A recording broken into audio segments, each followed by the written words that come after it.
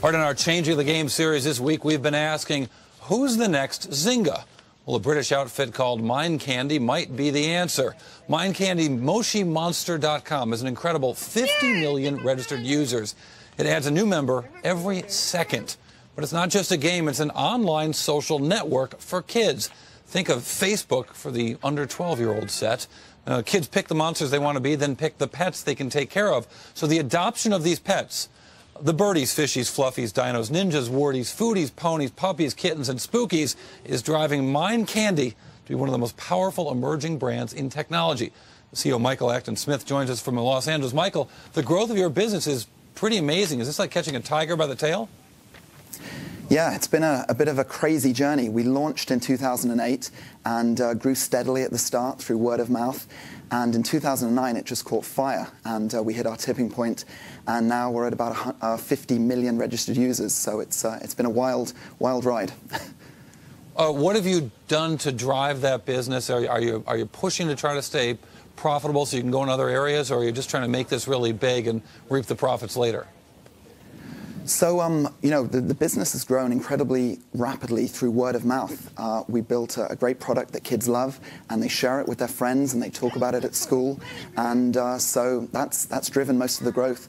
We did start to do some marketing, so that helps supplement it. But we're very proud that our organic traffic is is the key driver, and uh, the business has been profitable. We became cash flow positive a couple of months after launching our subscription service, so it's uh, yeah very cash generative you're clearly not in Silicon Valley. That's very uh, uh, un, uh, gauche of you. Uh, talk to me about the size of the business in terms of revenues. I've seen numbers saying it could be as much as a $100 million run rate.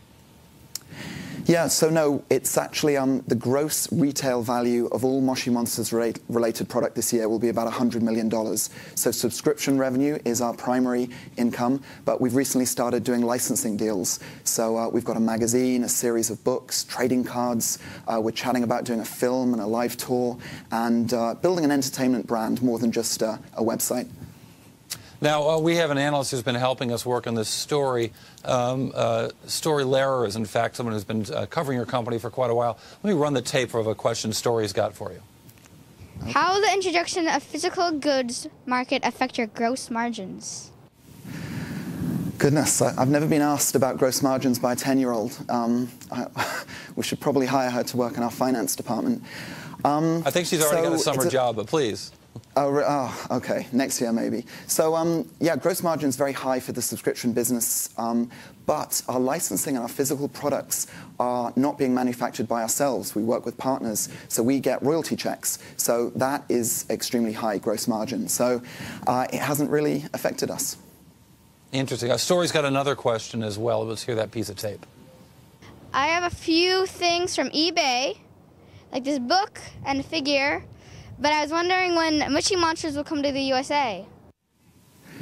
So we've launched our physical products in the UK uh, just before Christmas last year and have a pretty big range of, of toys and books and magazines.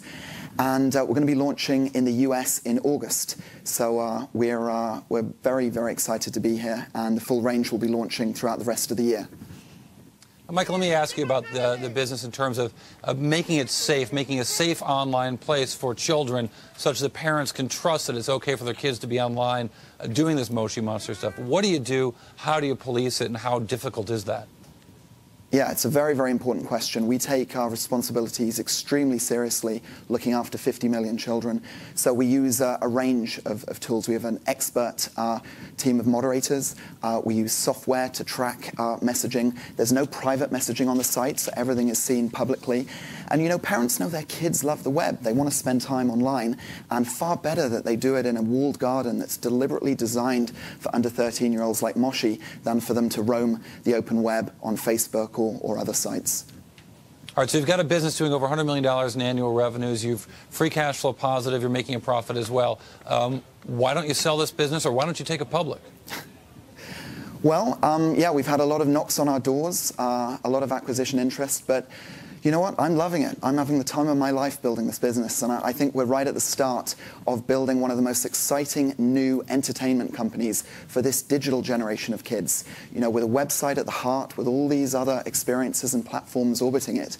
So I think it's too early. Um, I think it's too early to sell, and uh, I'd personally prefer to, to go public, but I, I, think we've got a bit of all a right. way to go before we get to that stage. All right, Michael Acton Smith, Mind Candy, thanks for joining us. John?